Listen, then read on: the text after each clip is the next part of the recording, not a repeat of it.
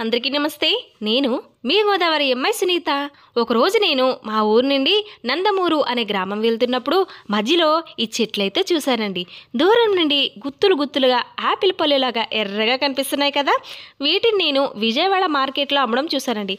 గత మూడు సంవత్సరాల క్రితం అయితే విజయవాడలో నేను చూశాను. అప్పుడు నేను అనుకున్నాను ఏంటివి భలే విచిత్రంగా ఉన్నాయి ఇవి భలే ఉన్నాయి ఈ చెట్లు అసలు ఎక్కడుంటాయా అనుకున్నానండి. కానీ అస్సలు అస్సలు అంటే అస్సలు అనుకోలేదండి. ఈ చెట్లు నేను మన గోదావరి జిల్లాలోనే చెట్టునని అయితే ఈ చెట్టును అడవి బాదం చెట్టు అంటారంటండి. నాకైతే ఈ మధ్యనే తెలిసింది. మీలో ఎంతమందికి ఈ చెట్టు గురించి తెలుసో ఈ చెట్టును చూసారో ఖచ్చితంగా కామెంట్ చేయండి. అలాగే ఇవి ఎక్కువగా అడవుల్లో పెరుగుతాయి అంటండి మళ్ళీ ఇలాగా పల్లెటూరులో అక్కడక్కడగా రోడ్డుకి ఇరువైపులా అయితే ఉంటాయంట ఈ కాయలను నేను చాలాసార్లు చూశానండి. కానీ చెట్టుని మాత్రం చూడడం ఇదే మొదటిసారి. ఈ చెట్టుని ఇంగ్లీష్లో వైల్డ్ ఆల్మండ్ అంటారండి. కానీ దీన్ని శాస్త్రీయంగా స్టెర్క్యూలియా ఫొటీడా అంటారట.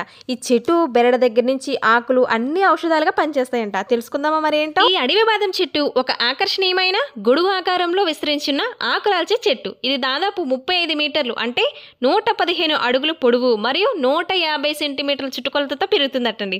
అయితే ఈ మొక్క సాధారణంగా అడవుల్లో అలాగే నది ఒడ్డున మరియు తీర ప్రాంతాల వెంబడి ఇసుకరాయి రాళ్ళల్లో అలాగే బహిరంగ ప్రదేశాల్లో పెరుగుతుందంటండి. అయితే ఇది చాలా నెలల వరకు అనుకూలమైందంటండి.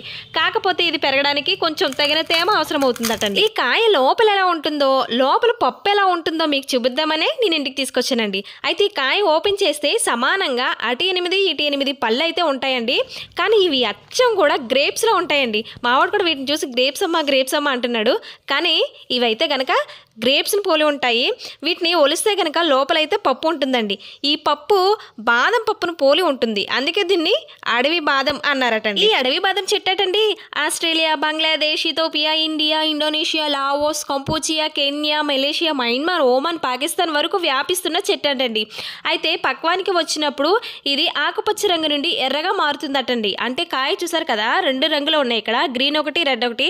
ఈ పక్వానికి వచ్చినప్పుడు అయితే కనుక గ్రీన్ నుండి రెడ్గా మారుతుందటండి. చూసారు కదా అండి లోపల పప్పు అయితే ఈ విధంగా ఉంటుంది. ఈ పప్పును ఇలా డైరెక్ట్గా తినేవచ్చు. కొందరు అయితే కనుక ఫ్రై చేసుకుని తింటారటండి. కానీ మీరందరూ గుర్తు పెట్టుకోవాల్సిన విషయం ఏంటంటే ఎక్కువగా తినకూడదు. తింటే కనుక మోషన్స్ అయిపోతాయి. అందుకే తక్కువగానే తినాలి వీటిని. ఇన్ని తెలుసుకున్నాం కదా అండి మరి దీని యొక్క ప్రయోజనాలు కూడా తెలుసుకుందామా? అయితే వీటి యొక్క ఆకులను గ్రైండ్ చేసి పేస్ట్లా తయారు చేసి తామర ఎక్కడుందో అక్కడ అయితే కనుక పెడితే తగ్గుతుందని చాలా వరకు చెబుతున్నారండి. అయితే ఈ బెరడు యొక్క కషాయాలను ఆకుల యొక్క కషాయాలను కూడా చాలా వరకు కనుక ఉపయోగిస్తారంట. జ్వరానికి సంబంధించిన విరిగిన అవయవాలు మరియు స్థానభ్రంశం చెందిన కీలక చికిత్స తర్వాత చర్మానికి సంబంధించిన మందులు దురద అలాగే చర్మ వ్యాధులకు చికిత్స చేస్తారు కదండి. వాటన్నిటిలో కూడా అంటే ఆ మందుల తయారీలు కూడా దీని యొక్క బెరడు ఆకులు గింజలు ఇవి కూడా ఉపయోగించి తయారు చేస్తారటండి. నిజంగా నాకు ఆశ్చర్యంగా ఉంది. మీలో ఎంతమందికి తెలుసండి ఈ చెట్టు? ఈ చెట్టు యొక్క కలపన ఏంటండి?